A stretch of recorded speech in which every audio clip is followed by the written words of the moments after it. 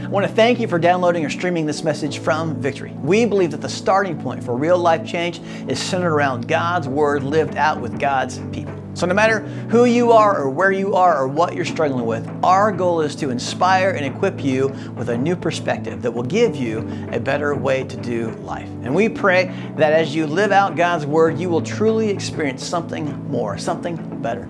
And if you haven't experienced a live victory service yet, we invite you to visit victorycc.life for more information on when and where you can join us. No matter where you are in the world, you can tune in with us through Victory Everywhere. That's what we're calling our online campus, Victory Everywhere. Or if you're local, we'd love to have you join us here in person. Here at Victory, we're contributors, not just consumers, and we consider it a privilege to give back what God has so freely given us. We celebrate generosity and the work that God does with our sacrificial giving and in our community and around the world. If the message that you are about to hear helps you, inspires you, and challenges you in any way, we invite you to partner with us financially in our vision of connecting people back to God. Join us by going to victorycc.life slash give. Thank you again for watching. We hope you enjoy this message. We've all seen the rumble strips on the side of the road. We all know what they're there for. When we fall asleep or when we're going too fast, they let us know we're straying into an area that's off limits, an area that's dangerous. They let us know that we're leaving the place we're supposed to be. We know what they're there for, but we don't really pay attention to them until we're already going off course.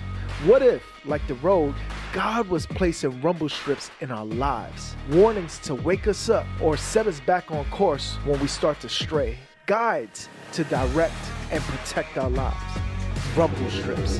By alerting us before disaster happens, they can minimize the damage and keep us in the safety zone. Have you ever noticed that all the things that you dreaded as a kid are the things that you love now? Have you ever noticed that some of the things that were punishments back when you were a kid are things that are your greatest treasures as an adult? Midday naps, sleeping in, sleep in general, something that you didn't like as a kid, but now you love vegetables. Uh, it's tough to get kids to eat vegetables sometimes. And now you're at this farmer's market looking at zucchini, like salivating, spending lots of money on tomatoes and stuff. Um, while, while you're there, bread. Kids will eat all around bread. They'll eat everything but it and just leave bread. When's the last time you heard a little kid come up and say, I got a hankering for some sourdough? I would love some rye bread. It's just, no, silence. How about that? Just quiet. Some of you are like, I don't even know what that is anymore. Then there are things like hygiene. You hated that as a kid. You're like, well, I don't know. My daughter's pretty clean. Well, if your son was in my cabin at Camp Allendale, I got bad news for you. what about when plans get canceled? As a kid, it ruins your day when plans get canceled. As an adult, you're like, don't have to leave the house, don't have to get dressed. Perfect. Great. Getting socks for your birthday or Christmas? That's a bad move for a kid. As an adult, give me all the socks. That sounds great. Here's a big one. Um, when someone mistakes your age as younger than you actually are, you could ruin a six year old's day. My daughter will swiftly correct you if you say she's five years old. If you told me, if you thought I was five years younger than I am, I'm going to let you walk around with that lie for a while. You'd, be, you'd, be, just fine with it. You'll ne- you'd never correct them. Your day was just made. You, you thought I was younger than I am. And finally, the age old punishment that's timeout. Who would love a timeout right now? Put me in timeout and throw away the key. It's devastating when you're a kid, but as an adult, man, timeout would be great. I had a timeout a while back and it was magical. Let me explain. Several years ago, I was at a men's retreat with my, with my church in Ohio. It was a couple hundred dudes, all different ages, all different backgrounds. We went to this extremely remote farm in Ohio, huge place. It was transformational for my faith, but I remember one exercise that stood out the most back when I think of that experience. The pastor told us, hey, go out somewhere on this 700 ish acre piece, just be alone. I want you to go somewhere where you can't see anybody else. Don't bring anything with you, no cell phone, nothing. He said, just go be alone for an hour. That was time out for adults. And I loved it. No instructions, not even any scripture to read, no discussion or reflection questions for you to look at, just be. And I remember sitting up against a tree somewhere out there and thinking, wow, this is so unusual. This is so foreign. And then I fell asleep. when we all gathered back up later at the campsite, the pastor pointed to these different places in Scripture where Jesus went off to be alone. He explained how solitude is an important thing and it's good for us. It's a spiritual discipline that most of us just ignore. That message that day just had a profound impact on me because I realized I'm hardly ever alone. I realized I'm always with people, and I would prefer it that way mostly. That's, that's what I like. That's how I like my life to be. But to try to keep this rhythm, to keep time out alive in my life for the last couple years and this year, um, I've been taking this solo hunting trip. So I go a few hours away by myself for four and a half days. And I know what you're thinking man, your wife must be awesome. And you would be correct. I get an Airbnb. I wake up ridiculous hour. I go way deep into these into this public land woods. I'm there all day. I come back, go back to the empty Airbnb. No cell phone service really. I don't see anybody or talk to anybody for about four straight days. Have you ever gone four days without speaking to another human? It's wild. It's it's a it's an interesting experience. It's hard to describe. I miss my wife and my kids so much, but man, when I get back from this trip of just being alone, of being in time out, I just have this heightened sense of gratitude.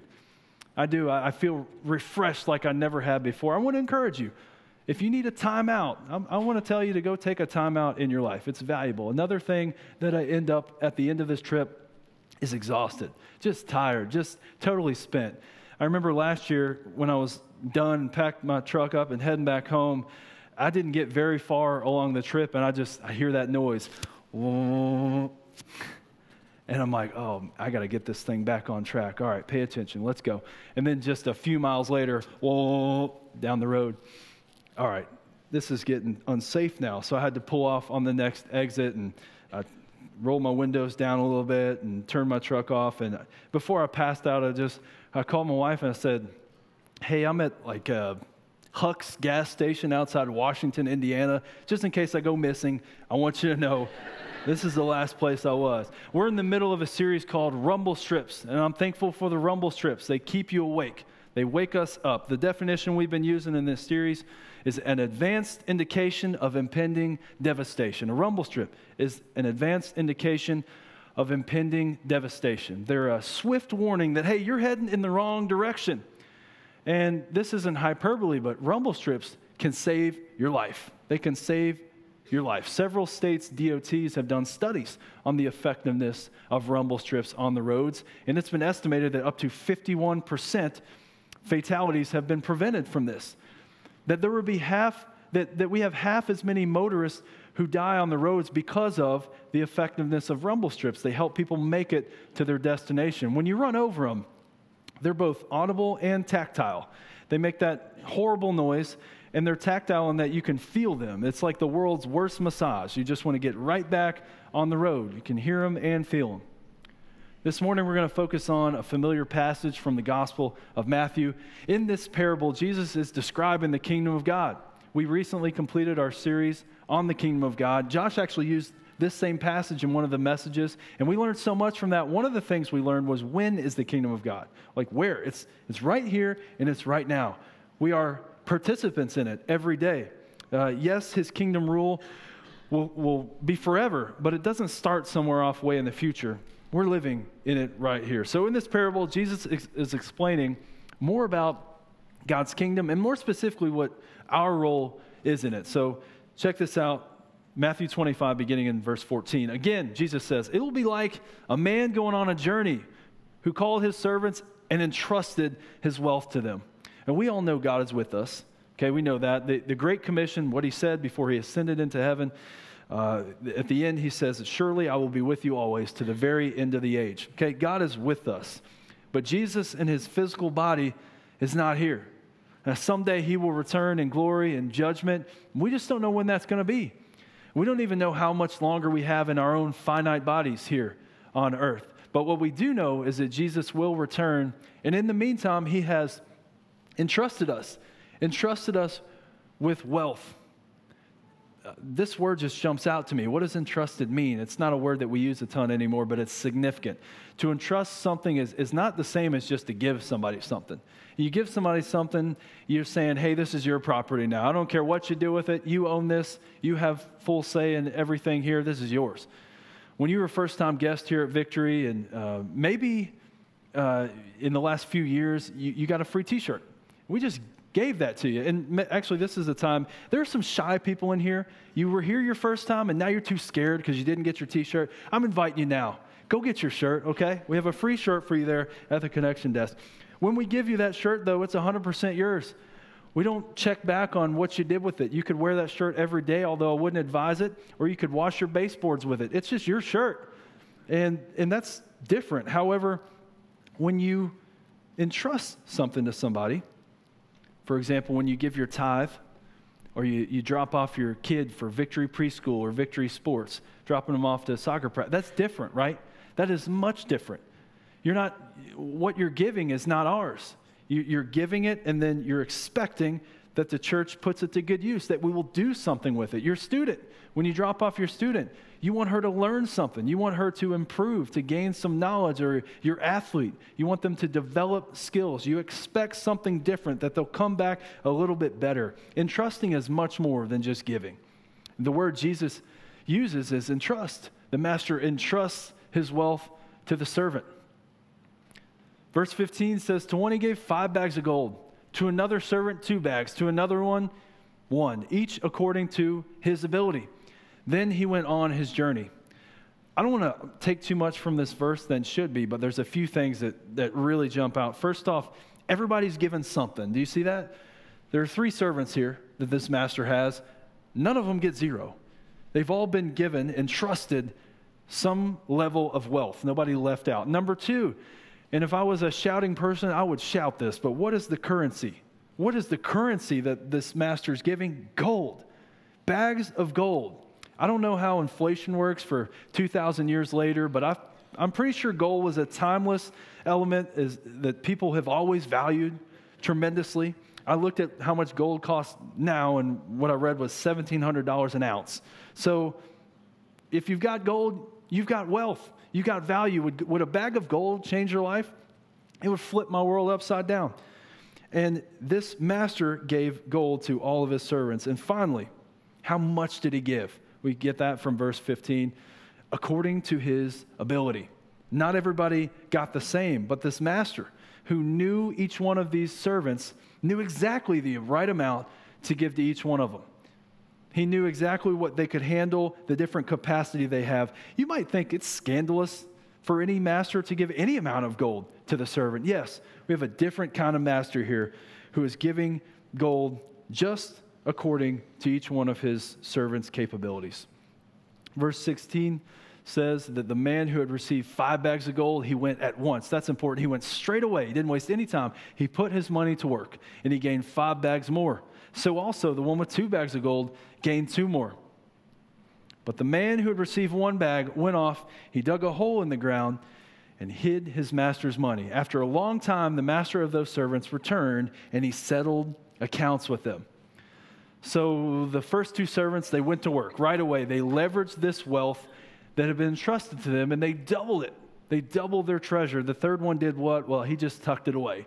He just hid it. I don't want to do anything crazy. I want to make sure that this is in the same condition as when it was given to me.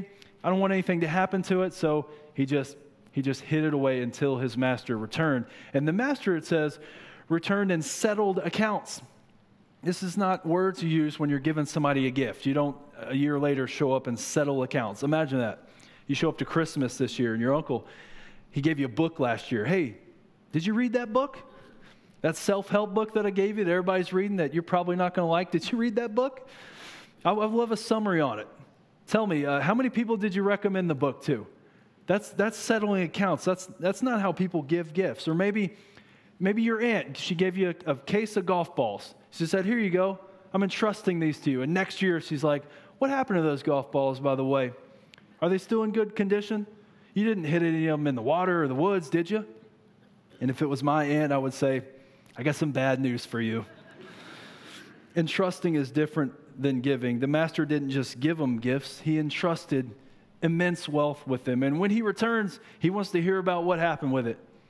So here's what happens. We're going to look at the rest of the parable. It's a, about 10 verses of scripture here, so follow closely. It says, The man who had received five bags of gold, he brought the other five. Master, he said, You entrusted me with five bags of gold. See, I've gained five more. His master replied, Well done, good and faithful servant. You've been faithful with a few things. I'll put you in charge of many things. Come and share your master's happiness. The man with the two bags of gold, he also came and he said, Master, you entrusted me with two bags of gold, and see, I've gained two more. His master replied, and he said, Well done, good and faithful servant. You've been faithful with a few things, I will put you in charge of many things. Come and share your master's happiness. Then the man who had received one bag of gold said, Master, I knew you were a hard man, investing where you have not sown and gathering where you've not scattered seed. So I was afraid. I went out and I hid your gold in the ground. See, here's what belongs to you. His master replied, Embrace yourself. He said, You wicked, lazy servant. So you knew that I harvest where I've not sown and gather where I've not scattered seed? Where do you get that? Well, then you should have put my money on deposit with the bankers, so that when I returned, I would have at least received back with interest.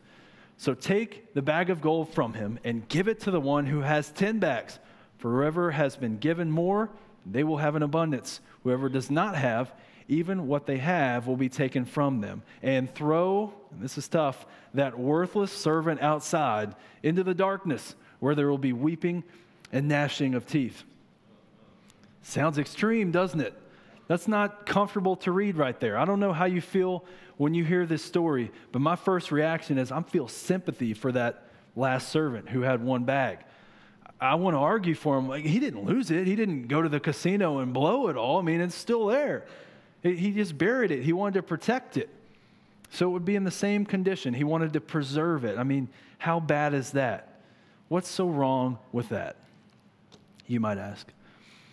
One of my best college friends is from Virginia. And when we were in school, he had a family emergency and he lived six hours away. And he, it would be a six hour drive there and a six hour back. But the problem was his vehicle needed repair. It was good enough to get around town, whatever, but he was worried that it might not make the whole trip there and back. So I let him borrow my car. I think it's fair to say that I entrusted my vehicle to my friend so he can make this trip. Now you're going to say, Oh, David, you're such a good friend. Hang on. I wasn't without transportation. I got to drive his vehicle, which was a Jeep Wrangler five speed with no windows or doors. If he drove a Prius, I would have said, Here's a bus ticket, good luck. but I got to drive his Jeep. But a few days later, when he came back to school with my car, I almost didn't recognize it. I double took, like, what? It was it was shining, it was scintillating. I, I opened the door, it was vacuumed, there was an air freshener. It looked better than when I bought it. I couldn't believe that, that, that it was like that. The gas tank totally full. I said, hey, man, are things settled down at home, or did you need my car again this weekend? Because we, we could work that out. I entrusted him with something that was pretty important, pretty valuable to me, and he brought it back way better than I could have imagined. And now, I mean, I would entrust anything to this friend, way more than even a vehicle. As uh, politically divided as we are as a country these days, there's actually one area where it seems like we have historically been able to see sides work together. This is a topic that's not perfect, don't get me wrong, but unlike any other issue, we have seen Republicans and Democrats actually work together on this issue, and the issue is conservation. Conservation. Things, no matter who you are or what you believe, you can get behind. Things like Endangered Species Act, the Clean Water Act, the Clean Air Act, national parks. I didn't say climate, I said conservation. We've got some hope, we've got some unity here if you look back, it took both, it took everybody coming together for these things to pass. And I think conservationalist Doug Duren explained it best. I absolutely love this quote he says about conservation. He says, It's not ours, it's just our turn. Talking about our planet, our resources, it's not ours, it's just our turn. This is exactly the attitude that we should have for conserving this planet that we've been entrusted, but it's also the attitude we should take toward the things that God has entrusted us personally in our own lives. It's not ours, it's just our turn. It's under our watch and care. the servants knew that they'd have to give the gold back. They knew it wasn't theirs, they knew they didn't own it.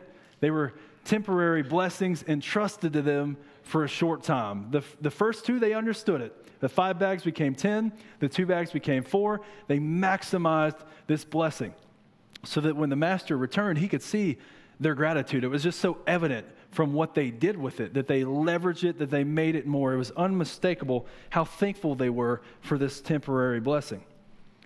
But what was the difference with the third one? The servant with one bag of gold. Why did he do nothing with it? Well, we have to take a look back at verse 24 and 25 that we read to really uncover. It says, Then the man who had received one bag of gold came. He said, Master, I knew that you are a hard man. The Greek word is scleros. It means, it means uh, harsh, it means stern or hardened. Harvesting where you've not sown and gathering where you've not scattered seed.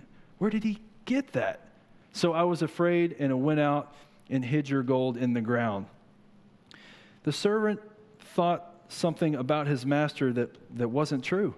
When we just read that he gave just the right amount for each servant. Um, Bible scholar G.H. Lang, when he talks about this part in the verse, he said, God doesn't attempt to fit a lake into a bucket. And I'm thankful God doesn't because a lot of days I just feel like a bucket.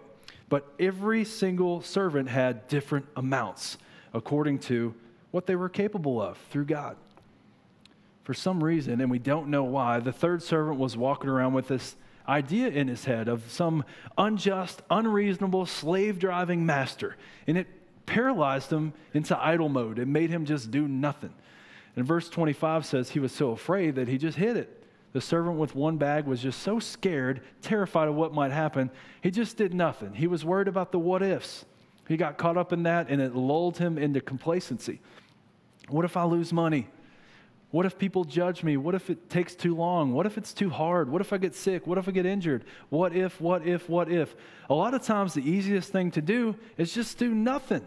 Just do nothing with this treasure entrusted to me. Just bury it, just hide it so it stays the same. C.S. Lewis uh, wrote a book called The Screwtape Letters. Lewis has written a ton of books, but this is the book that he looks back at and says, I had the most difficult time with this one. He says it really messed with his brain while he was writing it because in the Screwtape Letters, it's a book in which Lewis imagines what it would be like to be a demon working for Satan. The perspective from which this book is written, the deceiver is trying to influence humans to turn away from God, to lure them away from God. That's how the book reads. And when you hear the premise of the book, you might think, oh, oh, okay, so demons are trying to bring people away from God. I know what they'll do. I know what they'll do. They'll just get them maybe hooked on drugs. They will exploit their vices. They will coax them into a life of crime. They'll do stuff like that to pull them away from God. That's what I thought that the book would be about. But that's not at all the strategy that the demons use in this book, Screwtape Letters, to bring people away from God. In fact, I want to show you a little excerpt. This is the number one way. He says this is the greatest way to bring your human away from God and, and, and not let him um, live out his life in faith. It says this The great thing is to prevent his doing anything. As long as he does not convert it into action, it does not matter how much he thinks about this new repentance or about his faith or about God. Let him do anything but act. No amount of piety in his imagination and his affections will harm us if we can just keep it out of his will. As long as the man just never lets, lets it move out from here, as long as it stays here and doesn't go out, everything will be just fine. As long as he doesn't leverage all this gold that God has entrusted to him, as long as he just thinks and feels it and doesn't ever move in faith, the demon here in this book is saying, That's fine. No worries. He's doing exactly what we want. That's a haunting thought, isn't it? That's a chilling realization from, you know, a, a fictional book. In this series, we keep talking about impending devastation, impending devastation, that thing we're trying to avoid, that oncoming danger in rumble strips, that, that's what we're talking about. What do we want to avoid at all costs? And the more we dig into it, this is the question that keeps coming to my mind that I want to share with you about this. What if the biggest danger in your life is your hesitancy to maximize it? What if the biggest danger in your life is your hesitancy to maximize your life? What if the greatest threat to your life it's just your resistance to pour it out to the one who's entrusted it to you. Some of you have been following along in this series, of rumble strips and you've been rightly thinking, like, yeah, I'm probably never going to go to jail. Like, I'm looking at the history of my life, the trajectory I'm living. I probably won't, you know, waste my life in, in some criminal activity. I'm, I'm probably not going to give in to self destructive habits and get hooked on drugs. Maybe you're thinking that, and I just want to say, maybe you're right. Maybe you are. But what I'm trying to show you is this right here. What if the biggest danger to your life, the thing you actually want to avoid the most, is your hesitancy to maximize it? You may not end up swerving into a ditch. I'll give you that, maybe not. But how could it be any less horrific to actually end up at the end of your journey, to make it to your destination, only to be met with this? You were so lazy. You were so lazy. I entrusted so much to you, and what did you do? Nothing. I was I overflowed your cup, and what did you do? You hid it. To me, that's even more horrific. Just a moment ago, I mentioned some I mentioned some bad books. Uh, are there any garbage shows that you like to watch? If you're if you're not going to admit it, just know we know you watch some garbage TV. You just don't want to admit it. Everyone does. I'm not talking about inappropriate stuff. I mean just bad television. Just things that you watch it and you're like, this is extremely fake, this is extremely scripted. We all have those guilty pleasures. So I'm gonna, I want to admit to you that I went through a rough season in my life where I was watching people dig for gold. there are, maybe some of you, okay, it's all right. You'll come find me later when people aren't around. Hey, I watched it too. There are more shows about people looking for gold than there are people who've actually found gold, okay? How can you build an entire 12 episode series on nothing? I don't know, but I'm going to tune in. anyway, I want to redeem myself for the time that I wasted watching gold digger shows, and I want to help you. I'm going to help you here identify the gold in your life. In the past series, in some series in the past, we've talked about some of this stuff. I want you to know where your bags of gold are. We have broken this down into seven arenas.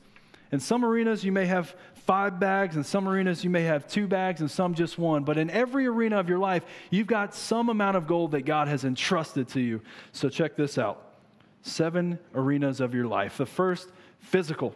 I mean, your overall bodily health, your fitness, mental, your cognitive capacity, as well as your mental health, family, and that can look a lot of ways in 2022, but your family, social, the people that you choose to spend your time with and the people that choose to spend their time with you, your community.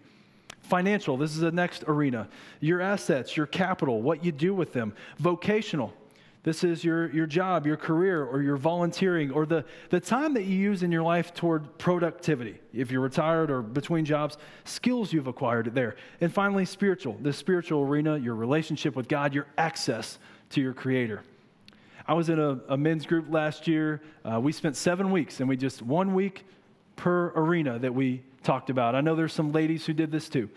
And we had a couple goals with this. Number one was just realizing, just letting it sink in how blessed we were, how much had been entrusted to us in each one of these, pointing out all the gold. And that's the thing, even in what you would call your weakest arena, you're looking at this like, oh, I'm, I don't have much there. Yes, you have been entrusted gold there. You might say, well, my physical health isn't what it used to be. But you're here. You woke up this morning, you got out of bed, you can speak with your voice, your heart's beating, and you did nothing to make that happen. You are physically capable of a lot more than you think. You're rich in that area, bag of gold. Or maybe you're like, ah, vocational. I don't like my job. I'm unemployed, or what it's something like that well you have some kind of income you are contributing to society you're providing some kind of service or if you're unemployed or retired hey your past experience stays with you. You've built up some skills and some ability. Vocationally i want to tell you you're richer than you think you are. And the next thing we did in our groups was we discussed how do we leverage this gold? How do we maximize it? How do we multiply it? What has been entrusted to us? Listen you've been entrusted with a lot of gold. In your family, say your family, for instance, and you sarcastically say, Yeah, I got gold in my family, fool's gold. my family is some real gems. Uh, God entrusted these fools to you, though. He did. That's your family. And, and you have the ability to influence them. How can you multiply something in them? Because God entrusted them to you, and you can have an impact with them spiritually. If you've been entrusted with this gift, it's your, your faith has grown a lot recently. How are you going deeper?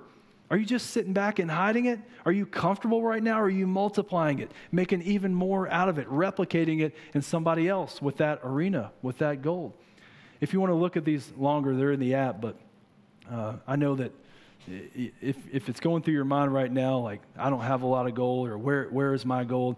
You need to look at this. God has entrusted more gold in your life than you would think.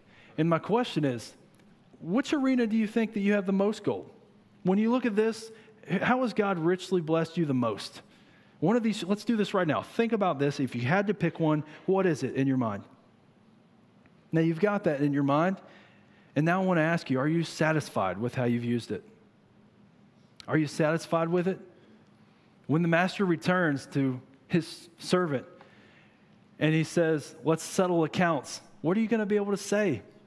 You know, you just admitted you've been richly blessed in this area, that a lot has been entrusted to you. Now, are you maximizing it to the highest potential? Or is this maybe a difficult realization this morning that you've been sitting back, that you've been asleep at the wheel, that you've been a little passive with all this that's been entrusted to you?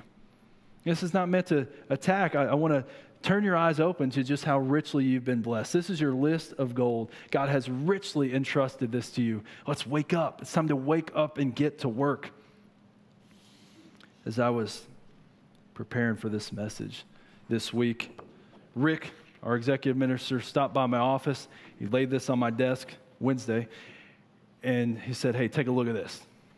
This picture, you can see it here on the screen.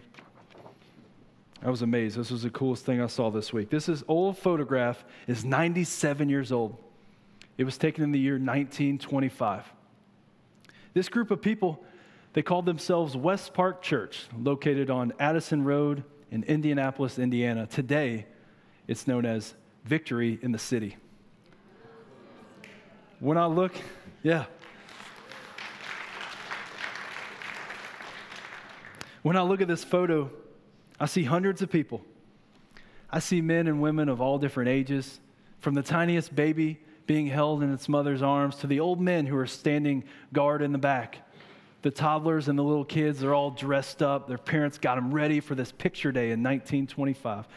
I see grandmas, I see grandpas, I see husbands and wives, aunts and uncles, single, widow. I see salespeople, I see medical professionals, I see stay at home moms, teachers. I see game changers in this photo.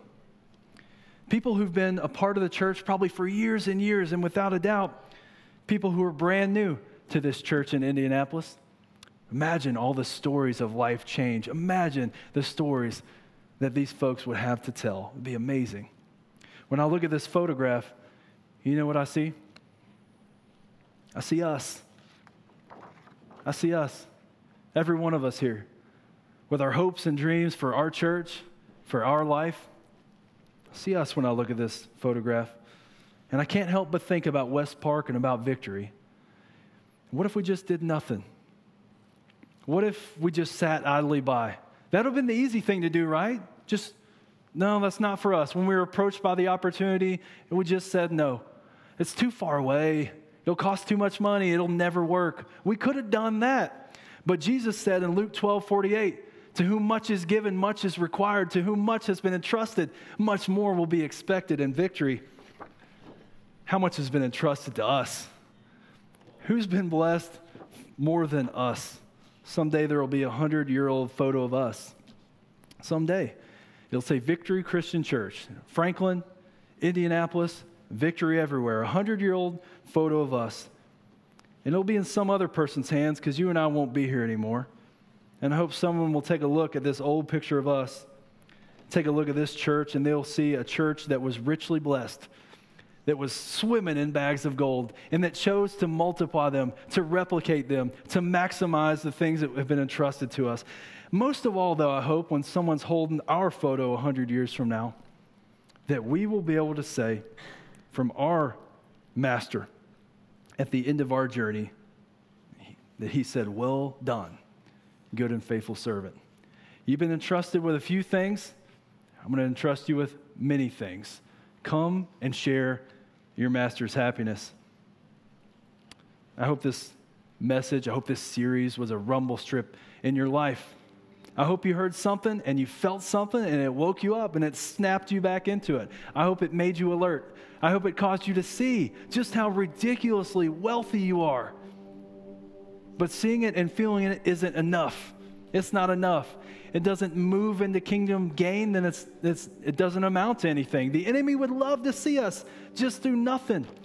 Just sit back and hide it. That would be great for the enemy. I, I hope you see that your life is full of gold. But it's not too much and it's not too little. It's the perfect amount tailor made for you because your master knows exactly the perfect amount for you. So, our question is when the, our master returns, when we have to settle up and give report for all that's been entrusted to us, will we be able to say, I poured it all out, I maximized it? I, I hope and pray that we will. Let's pray together. God, we thank you for the, this opportunity we have every week to worship. God, thank you for every person who's with us today, online, in person, Lord, for the songs that we sing, to give you all the praise, Lord.